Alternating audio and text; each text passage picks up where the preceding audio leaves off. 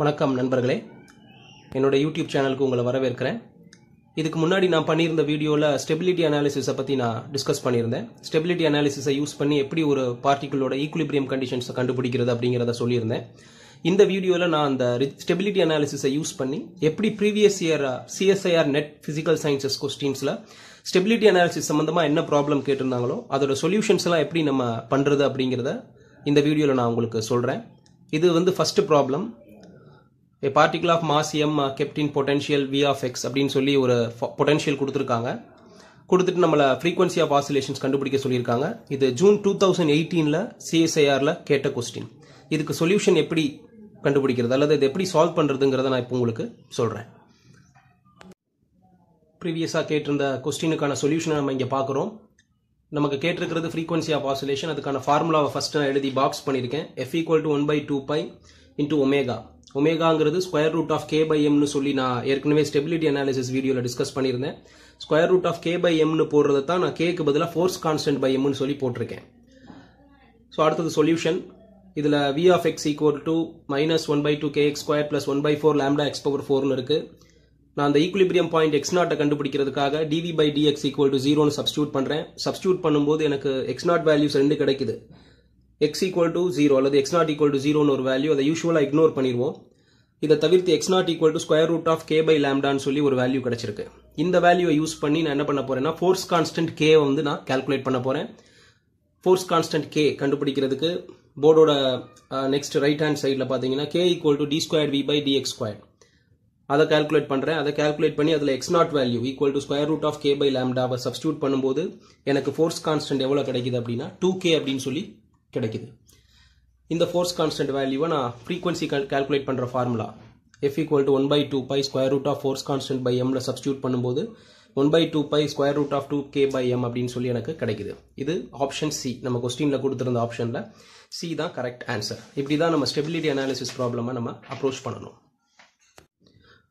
அடுத்ததான் அந்த ஸ்டெபிலிட்டி அனாலிசிஸில் நம்ம அடுத்த ப்ராப்ளம்க்கு போகிறோம் இது CSIR NET December two thousand லெவனில் கேட்ட question The potential of a diatomic molecule as a function of the distance r between the atoms is given by V of r equal to minus a by r power 6 plus b by r power 12 கொடுத்துருக்காங்க The value of the potential at equilibrium separation between the atoms is அப்படின்னு சொல்லி ஒரு நாலு option கொடுத்துருக்காங்க இந்த நாலு ஆப்ஷனில் எது கரெக்டான ஆப்ஷனுங்கிறத நம்ம கண்டுபிடிக்க போகிறோம் யூசிங் ஸ்டெபிலிட்டி அனாலிசிஸ் பொதுவாக வந்து இங்கே டயட்டாமிக் மாலிக்யூல்னு கொடுக்கும்போது ஸோ ரெண்டு ஆட்டம் சேர்ந்து ஒரு மாலிக்யூல் ஃபார்ம் ஆயிருக்கு அப்படி மாலிக்யூல் ஃபார்ம் ஆகும்போது என்ன ஆகும்னா லைக் சார்ஜஸ்க்கு இடையில ரிபல்சிவ் ஃபோர்ஸஸ் இருக்கும். ரெண்டு ஆட்டம்ல இருக்கிற லைக் சார்ஜஸ் அதாவது proton proton and electron electronic இடையில ரிபல்சிவ் ஃபோர்ஸஸ் இருக்கும்.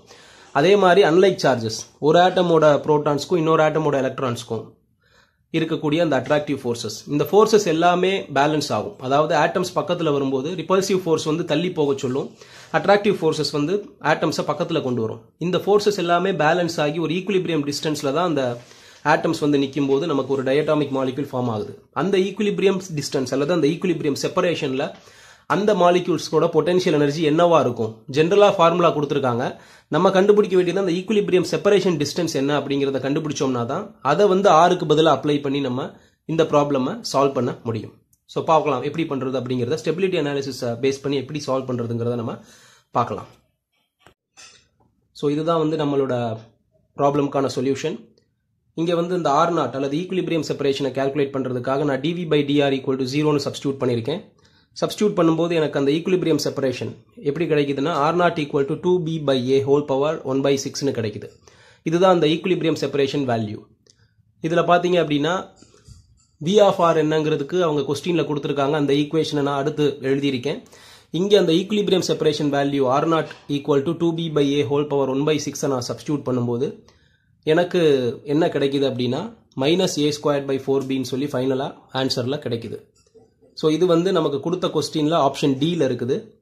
நம்ம என்ன பண்ணியிருக்கோம் அப்படின்னா ஸ்டெபிலிட்டி அனாலிசிஸை யூஸ் பண்ணி ஈக்குலிபிரியம் செப்பரேஷன் என்னங்கிறத கண்டுபிடிச்சி அதை வச்சுக்கிட்டு நம்ம அந்த ஈக்குலிபிரியம் செப்பரேஷனில் அந்த டயட்டாமிக் மாலிகுலுக்கு என்ன பொட்டன்ஷியல் இருக்கும் அப்படிங்கிறத கால்குலேட் பண்ணியிருக்கோம் ஸோ ஈக்குலிபிரியம் டிஸ்டன்ஸ் அல்லது ஈக்குலிபிரியம் செப்பரேஷன்னாலும் எல்லாமே ஒன்று தான் ஸோ இப்படி தான் வந்து ஸ்டெபிலிட்டி அனாலிசிஸ் வந்து நமக்கு யூஸ்ஃபுல்லாக இருக்குது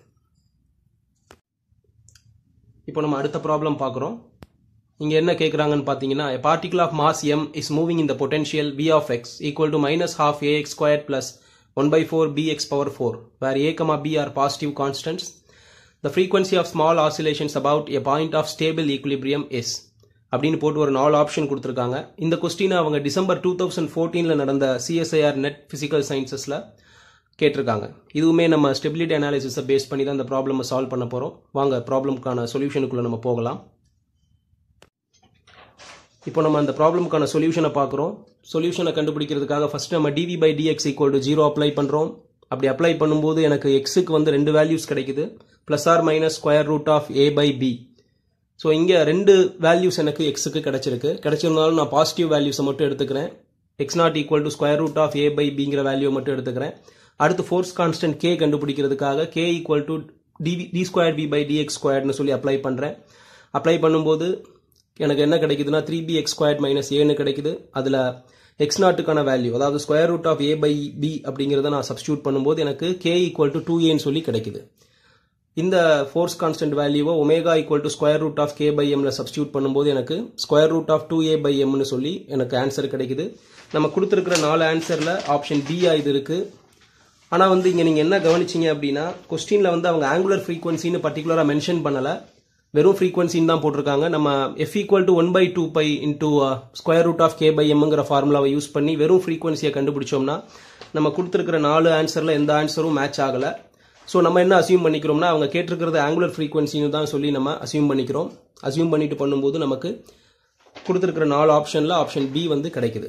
இப்படி தான் நம்ம ஸ்டெபிலிட்டி அனாலிசிஸ் சம்மந்தப்பட்ட ப்ராப்ளம்ஸ் எல்லாம் அப்ரோச் பண்ணணும். இந்த வீடியோ உங்களுக்கு பிடிச்சிருந்தது அப்படின்னா லைக் பண்ணுங்கள் இந்த வீடியோ சம்மந்தமாக உங்களுக்கு ஏதாவது ஃபீட்பேக் அல்லது கமெண்ட்ஸ் இருந்ததுன்னா கமெண்ட் செக்ஷனில் பதிவு பண்ணுங்கள் இந்த வீடியோ உங்கள் நண்பர்களுக்கு ஷேர் பண்ணுங்கள் நெக்ஸ்ட் வீடியோவில் உங்களை சந்திக்கிறேன். Thank you very much for your patient listening thank you